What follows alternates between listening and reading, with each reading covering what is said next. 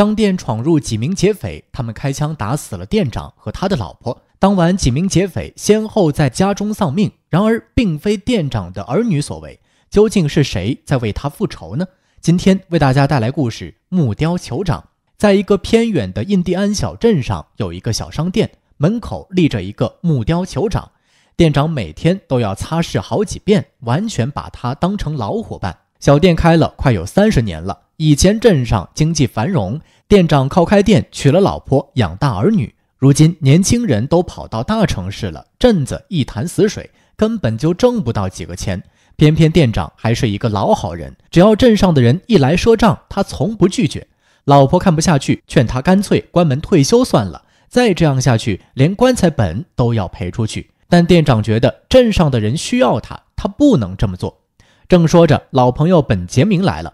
本杰明每次来都是来赊账的，店长老婆没给他好脸色，告诫店长。不要赊太贵的东西给他，因为本杰明已经欠下他们家太多账了。然而这次本杰明并不是来赊账的，而是带来了一包珠宝。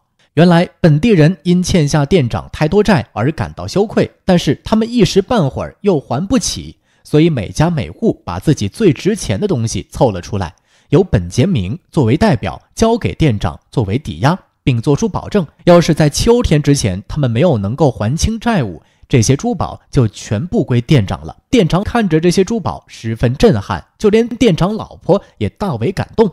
店长表示心意他领了，但他不能收下这些东西。本杰明说：“只有店长收下这些东西，他们才算是欠款，而不是在乞讨。”店长最终不得不收下了这些东西。当本杰明离开的时候，店长老婆已经换了一副态度，他也为这些本地人的尊严所折服。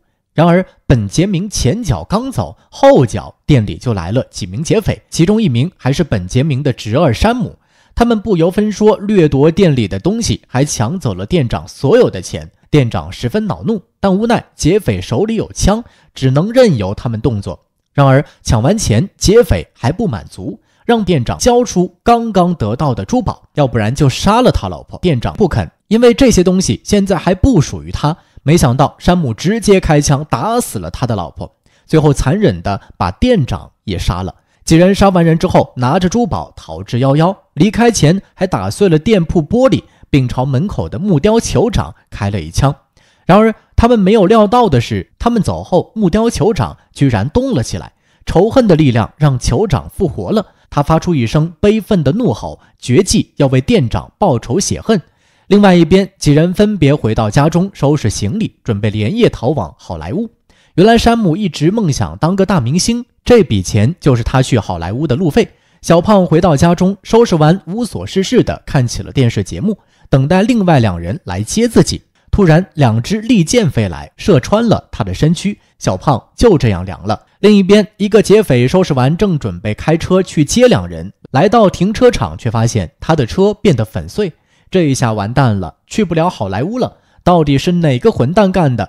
就在他愤怒的时候，酋长悄悄地来到他的身后，举起斧头砍了下去。接连两个劫匪殒命。酋长来到最后的山姆家，然而山姆十分警觉，他发现了酋长，并朝酋长开了几枪。但酋长是木头做的，根本就不怕枪击。他拿着刀将山姆堵进了卫生间。山姆想从窗口逃走。酋长打破通风道，抓住他，拽住他引以为傲的长发，直接将他的头皮割了下来。第二天，本杰明醒来，发现珠宝就放在自己身边，他立马感到大事不妙，赶紧来到了小店，看到酋长的手上还拽着山姆的头皮，他顿时明白了一切。他向老店长致敬告别，宽慰了他的亡灵。木雕酋长来自1987版《鬼作秀》，是很多八零九零后小伙伴的童年阴影。也是很多人的恐怖启蒙电影。虽然人们常说好人没好报，而坏人活得逍遥快活，但不得不说，世界上还是好人多的。他们依靠自己过上衣食无忧的生活，并且通过做好事帮助他人。这不仅能让他们得到心灵上的洗涤，还会因此得到他人感恩的回馈。然而，真正的坏人不仅要遭受良心上的谴责，还会被社会和法律所制裁。好了，今天的电影就看到这里。喜欢就关注、点赞、转发、留言，咱们下期再见。